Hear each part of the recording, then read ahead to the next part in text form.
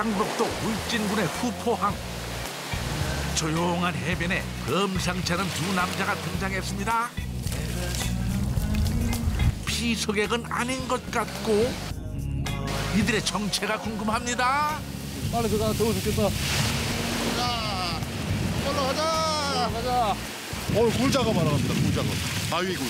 바위에 딱 달라붙어 있는 굴이 손바닥만한 게 있거든요. 아하 잠수를 해서 수산물을 잡는 해녀 아니 아니 아니 네, 해남이네요 바다에 들어가기 전 이것저것 챙겨야 할 게 많답니다 바위에 붙어 있기 때문에 정을 그 틈에다 대고 망치를 때려서 하나씩 하나씩 따는 겁니다. 오리지널 그 해녀분들은 이거 호흡기도 안 차고 있거든요 그냥 수경만 제일 수경도 신식이고 호흡기도 차고 들어가고 네. 준비다 했다 그래, 다 있다. 네. 저는 이제 7개월 됐고요. 저희 스승님은 5년차 해남이십니다. 제자를 지금 가르치고 있는 중입니다 친구이지만 제자 공단내기 두 해남은 잠수하기 전에 꼭 하는 일이 있는데요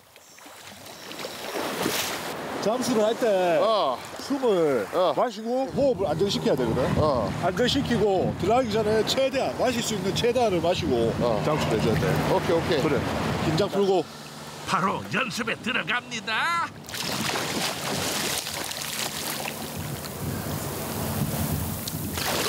그렇지. 어. 그렇게 그리고 나와서는 호, 회복 호흡. 다시 relax 안정을 시켜야 돼 마음 그래야 호흡이 길어진다고 가자 Let's go! Go go 벌써 7개월 차. 꽤 일을 잘하는 제자이지만 물에 들어가기 전 매번 확인하는 이유는 그만큼 해남 일이 어렵고 위험하기 때문입니다. 오늘도 별탈 없이 일이 끝나길 바라며 본격적인 작업을 시작해 볼까요?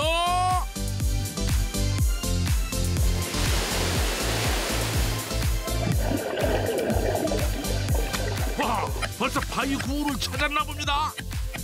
물속에서 작업할 때는 시야가 가장 중요한데요. 요 며칠 비가 내리는데도 저 아래에 붙은 굴이 훤히 보이는 게 시작부터 예감이 좋습니다.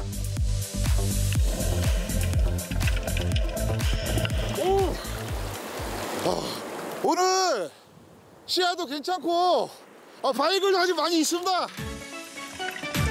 이렇게 잠수를 위한 공기통 없이 맨몸으로 물속에 들어가 폐류나 해초류를 채취하는 일을 나자업이라고 하는데요. 잠수 실력을 갖춰야 할 뿐만 아니라 기관의 수산물 채취 허가를 받아야 한답니다.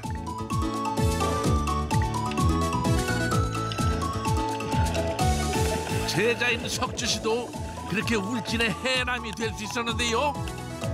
이야, 실력이 스승 못지 않습니다.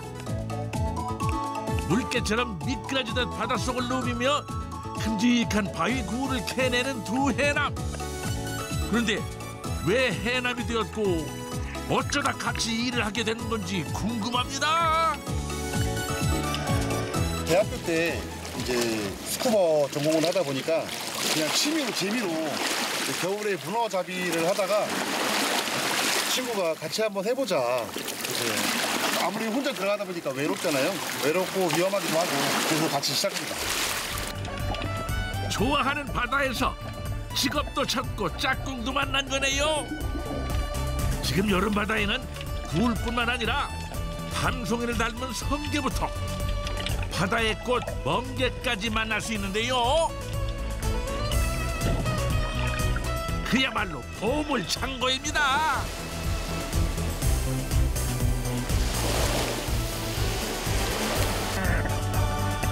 이번엔 모래를 열심히 파보는데요. 모래를 씻어내자 뭔가 하얀 게 나옵니다. 여기도 보물이 숨겨져 있는 모양이죠. 따박이라고도 하고 백합이라고도 하고 하더라고요 동해안 쪽에 이 모래 있는 바닥에는 거의 다 있다고 하더라고요 장장 3시간을 작업해 얻은 귀한 수확물입니다. 그런데 석주 씨는 스킨 스쿠버도 해봤다는데 해남 일이 꽤 익숙할 것 같은데요. 이제 스킨스쿠버 할 때는 이제 물속에서 숨을 쉴 수 있지만 이거는 숨을 꼭 참고서 해- 작업을 해야 되기 때문에 너무 힘들고 아 다릅니다. 네, 작업은 불법이기 때문에 절대로 해서도 안 되고 시도도 해서도 안 됩니다. 공기통 등 허가되지 않은 장비를 하고 수산물을 채취하는 건 불법이랍니다. 어, 저 같은 경우에는 이제 물속에서 힘을 쓰다 보니까 이제 뭐 한 20초 이 정도밖에 못 참는데 저희 스승님은 지금 아가미가 있는지 거북이 같은 느낌이 있어요. 1분 이상을 참더라고요. 어, 너무 신기하더라고요. 저 배우고 싶은데도 노하우기 때문에 아직은 잘 안 가르쳐 주시더라고요. 저도 처음에는 오래 못 있었는데 점점 시간이 느는 것 같더라고요. 네. 해알량도 느는 것 같고 계속 많이 하니까.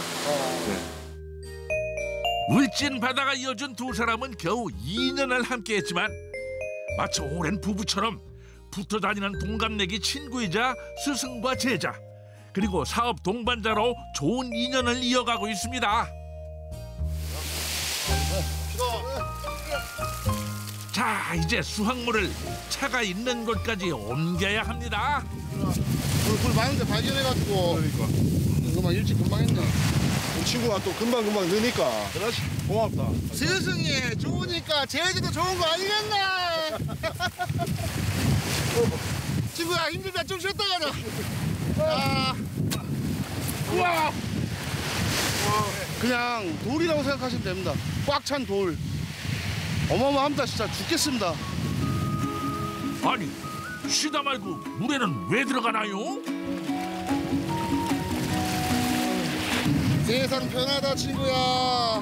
물은 시원하니까 죽인다. 얼마나 좋노? 그참 신선 노름이 따로 없습니다 그려 잠시 쉬었으니 할 일은 해야지요 가자. 아이고 모래길이 저만큼 남았네요 훌륭한 해남의 길은 멀고도 험합니다 다리가, 야, 다리가 부들부들한다. 할 때만 느끼는데 정말 힘들다. 친구야, 긍정적으로 생각하자. 운동했다 생각하자. 역시 스승은 다릅니다 제자가 그 마음을 잘 배워야 할 텐데요 잠수복에 남은 바닷물을 잘 씻어주고 바로도야, 아까 머리 바로. 고맙니다. 오늘 수확물을 확인해 봅니다. 그리고 망치질이 시작되는데요. 아니 일이 끝난 게 아닌가 봅니다. 애먼 굴은 왜 두드리는 건가요?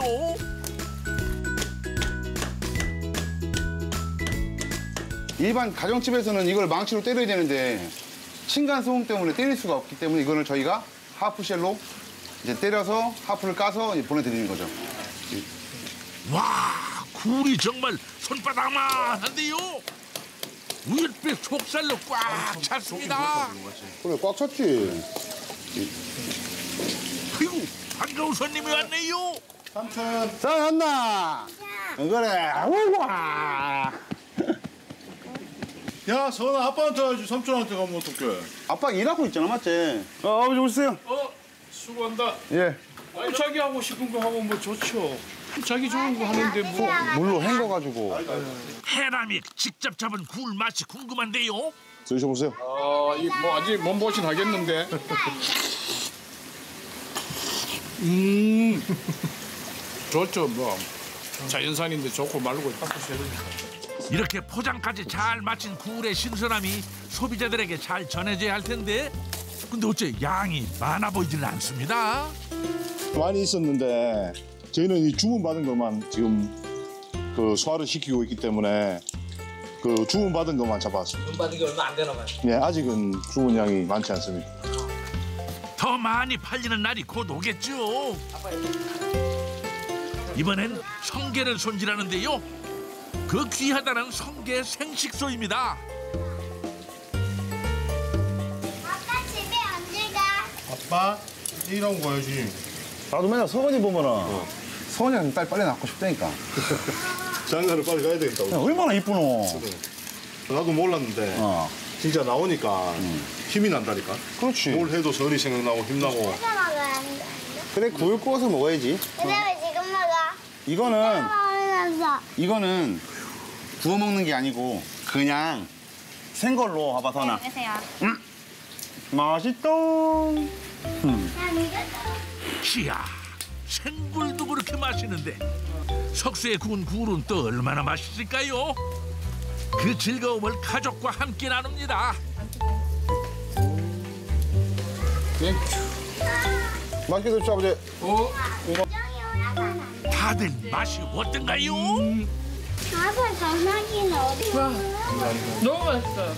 처음에 동생이 해남 한다고 했을 때 걱정을 많이 했는데 이제 이렇게 맛있는 거를 많이 잡아주니까 이제는 걱정되지만 행복하네요. 맛있는 걸 내일 먹을 수 있어서. 한여름에 펼쳐진 굴 파티에 다들 웃음꽃이 핍니다. 어떻게 맨날 못 앉으니까. 아 맞다. 진짜. 진짜 맛있어. 와. 이야 모래에서 찾은 조개까지. 가족과 함께하는 이 시간 바다에서 건져온 건 수산물만이 아닌 모양입니다.